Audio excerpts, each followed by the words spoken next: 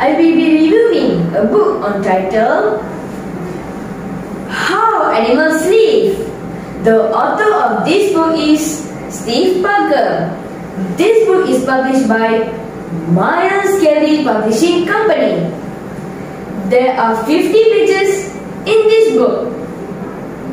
The advantage of this book is it is really interesting to read because there are amazing facts and cross references are given. There are also have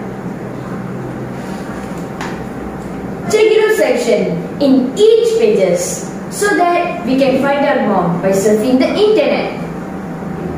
Photos and artwork in this book really amazing because they look real and clear.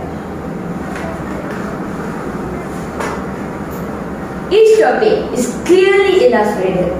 Some images are labeled to providing further information. The disadvantage of this book is this book is quite heavy and the cover of this book is very hard. Sometimes it's getting heavier when I hold it for a long time.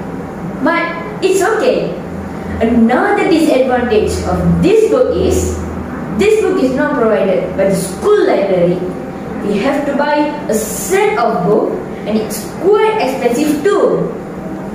I like to read this book because it explains well how the animals live on earth. This book explains how the animals live in their habitats.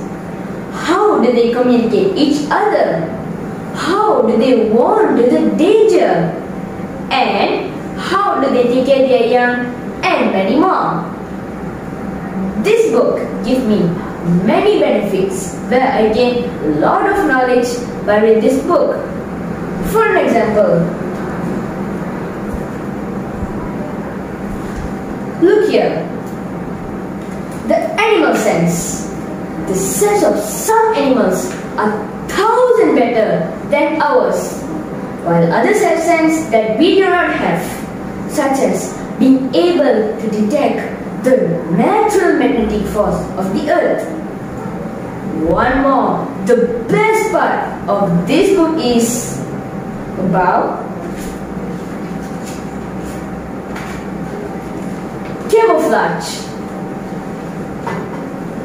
Camouflage is a wonderful thing. Camouflage is a type of coloration or pattern that helps an animal to blend in with surroundings. Many animals are born with camouflage. Many animals have camouflage so that they can live in the forest. For an example, a barren caterpillar lays on a leaf so that the predator comes for the food. As an example, a crocodile remains on the surface of water when the prey moves closer to the crocodile. Tigers also hide in tall grasses when the prey move closer to the tiger. Birds, like an owl, sit on the tree branches. It looks like wood to the prey. When the prey moves closer to the owl, the owl will catch and kill the prey. This book also teaches me to love animals and take care of the animals. Human activities such as cutting down rainforest trees or polluting water with chemicals can be dangerous to the animal habitats. This book gives me a very good lesson. Let me share with you. This planet has given us and other animals to live. It's the duty of each one of us to respect and preserve the planet from calamities which are caused by unnatural errors such as pollution and global warming. We can help to reduce global warming by planting more trees which can be a good environment for the animals. So let's take care of the animals by keeping the planet clean together. Thank you.